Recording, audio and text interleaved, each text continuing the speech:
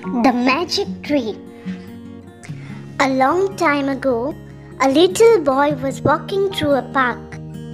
In the middle of the park, there was a tree with a sign on it. The sign said, I am a magic tree.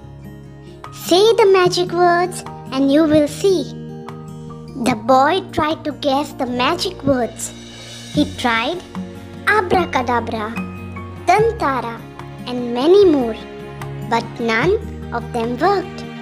Exhausted, he threw himself on the floor, saying, Please, dear tree.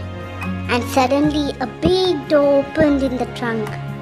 Inside, everything was dark except for a sign which said, Carry on with your magic. Then the boy said, Thank you, dear tree.